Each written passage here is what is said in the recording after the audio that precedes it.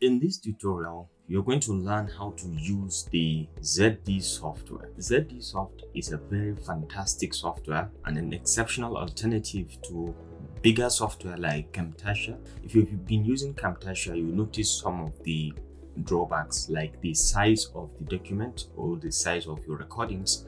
After you finish, you notice that they are, the sizes are quite big. Now I found an alternative, a very fantastic alternative to Camtasia which is ZD Soft.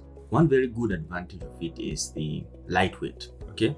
The lightweight and the simplicity, it's very simple and it's very clear when it records your video, okay? So you're going to find exceptionally clear recording with even sound effects of on your mouse, okay? I found it and I rate it very high because of that impact. So to get to ZDSoft, all you need is just to come to your browser over here and just type in zdsoft.com and it will bring you over here. So you have two options either to go to download the free version or to go ahead and buy it.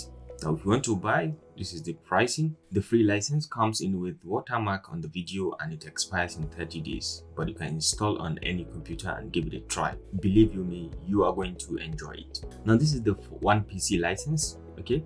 And this is the 2 PC license.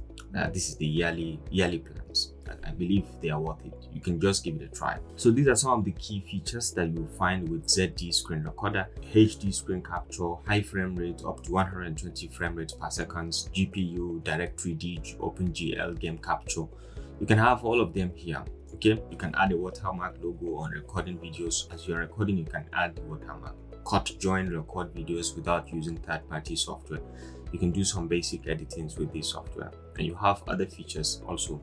So just go ahead and download it and then we meet on the other side. I've already downloaded and installed mine so let's uh, give it a try and see what you can do with this very simple software. So all you need is come to start menu over here and just type um, zd and you can see it over here screen recorder recently added just installed mine like i said. So you can start it like this. Okay so you can start it like this. At the starting point you'll be prompted to this. What do you want to do? You have to create how to videos or to capture an online event. For example maybe from youtube you may have a video recording. You can capture it directly or you can record a webinar or a meeting you can record that directly as it is going. You can record with this very software. And then you can record gameplay. If you want to record a gameplay then this is a, a, uh, different thing. You can come over here.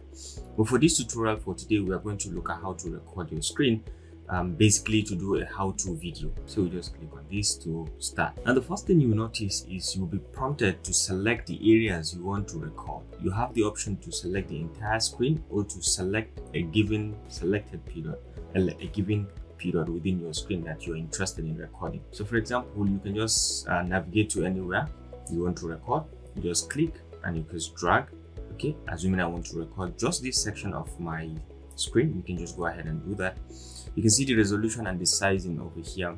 Is 343 3433 by 2107 so this is just the the sizing okay?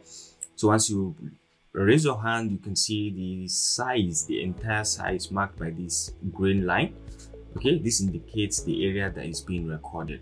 You can adjust that at any given point if you want. You can just uh, navigate and adjust that to any size assuming you want to record only this or you can extend uh, as you so wish. So the first thing I would like to go through is the this little panel where we have most of the key settings to take a look at. So the first one to the left is the record button. Once you click on this, you're going to start the recording directly. Once you click on this, this is going to take a screenshot of whatever you have on your screen. So if you want to take a screenshot of this area that you've highlighted, all you need is just to click on this and it's going to take a screenshot and save it for you in this folder. Okay so this folder is where it saved all of the content it has created. You can pause a screen recording or a video recording or a meeting recording. Once you're recording something you can use this key to pause it at any given point. Maybe later i'll show you how to pause a given recording. And then by this this is where you see most of the time spent while recording. If you spend 10 minutes recording a given section or a given tutorial or a given screen you'll be able to see that 10 minutes recording over here. So the time spent, you'll see over here. At the top here, you have the resolution of the area you are recording. Just like now, we have shown how you will specify the sizing of what you want to record. You can click again and specify if you want to have maybe just this place just to record just this place you can specify again uh, just by clicking that area you can see so now this is 1145 by 833 and i think this is small and they want to make it the whole screen just want to capture the whole screen something like this. Okay so this is this part. Then you have the option to enable the playback. Okay this is the playback. You can enable the speaker uh, if you want to capture the speaker during your recording you can enable it. And this is the microphone that you're going to use. So you can on and off if you want. You can on and off. We'll select the uh, later i will show you how to select the, the microphone to use during your recording but you can turn it on or off. And then this is your camera. It could be a webcam or it could be any any camera source. You can capture it from here. Once you enable this it's going to capture your webcam. And as you are recording you can do picture in picture or video in video. You can do all that from here. Okay? And this is the type of mouse. You can enable the mouse the mouse cursor to show. You can enable the mouse cursor to show or not to show from this. By just clicking on this it's been enabled. If you click again it's going to be disabled and throughout your recording you will not be able to see a mouse. And this pen gives you the opportunity to draw while you're recording. So if you click on this you can be able to write something as you record. Maybe during your illustration you want to highlight some things. You can be able to click and highlight anything at any given point. Now you have the bunch of options. You can play around with the thickness of the line okay right now it is 13 you can reduce it uh, to 12 or to 10 depending on how you want it. See now the thickness is reduced and you can change the coloration. As you so wish and you can use any shape of your choice. This is normal line this is an arrow. If you want to use an arrow to indicate something you can easily use that as well. This is um, rectangle. You can use a rectangle to illustrate something directly during your, your presentation. For example use this free download to download this software. And this is cool. you can use it also to illustrate by now okay? Or any section of the video. Maybe this is the illustration or something like that. And then this is the normal free line. You can just use it to just um, draw anything. This is free line. And this one if you want to do a bullet point you want to just signify this is number one this is number two this is number three. Oh this is step one this is step five this is step six. You can use uh, this to just write all that from here. The next thing is you may want to you may want to change the coloration. You can change coloration from here. And just click on this to change the color. For example now you've been writing on red you can change it to something like um, black. You want? Something like pure black. And or you can do add custom color. If you have the hue the hex code you can also put it and then you can say okay to this and once you start writing it's going to be in black. And then we're back to black okay? So you can see now when you write it's going to be on black and everything is going to be on black all right? So this is that. And the next thing is you may want to at any given point this is maximize this. If you want to make it full screen you want to minimize or you want to close this box this dialog box you can close it uh, at any given point or you want to check in the recording. All your recordings you can easily access them from here this folder. Once you click you'll be able to find all the recordings that you have done and you'll be able to access them directly. For example i've recorded something like this. This is a screenshot i've taken earlier on when we started. You can just open it. It's a photo. You can see it. It's just a normal screenshot.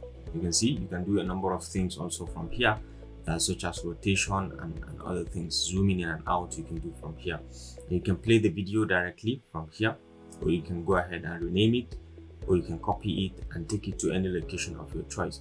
You can do some basic cutting and joining from here from these very uh, simple tools. You can just select a video go ahead and play it directly from here or you can delete it as you so wish you can move it to another folder okay?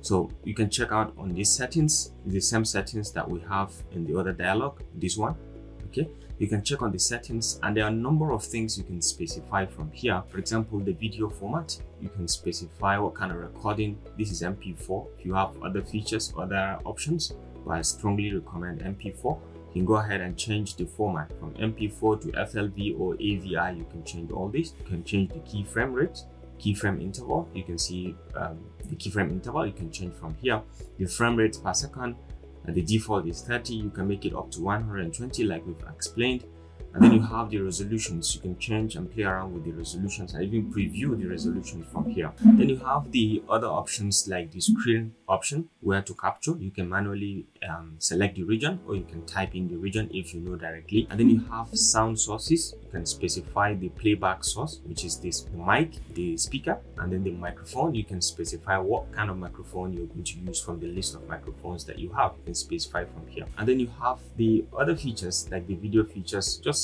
check them around.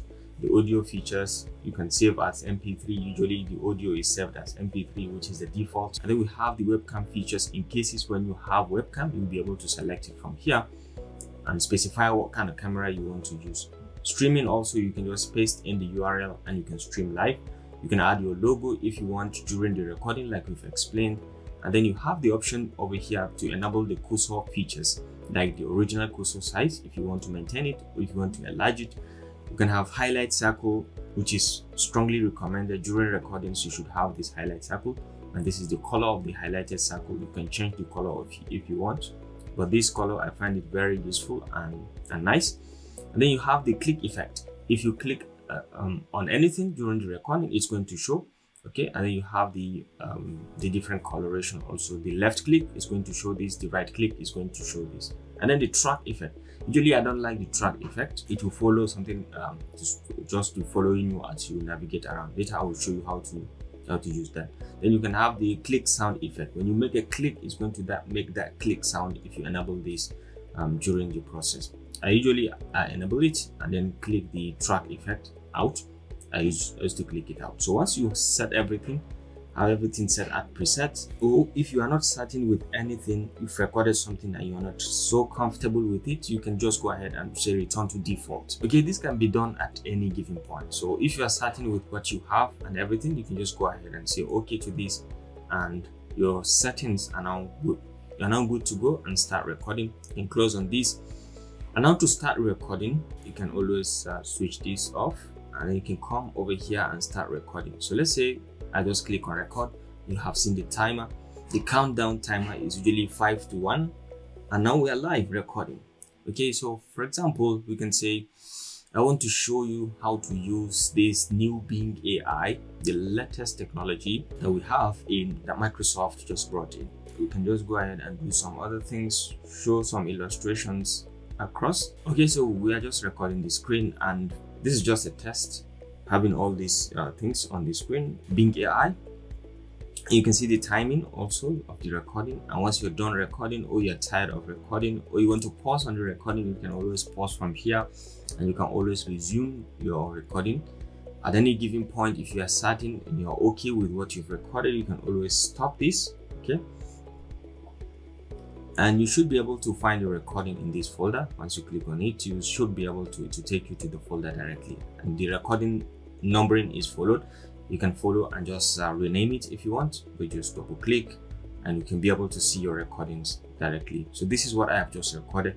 You can be able to see the green circle around the around the mouse cursor okay and then you can see the navigation. Just take a look at the clarity and all that. It's very very clear and very fantastic. Very very clear. And let's take a look at the sizing. It's just 15 megabytes what we've just recorded. I think the sizing is good. The recording structure is good. The process is simple. And the clarity of the video also is very very nice. So i think this does it for this small simple tutorial on how to use this simple uh, screen recording software to record your screen to record your tutorials uh, or thereabouts. I hope you enjoyed this video. Thanks for watching and I will see you in the next one.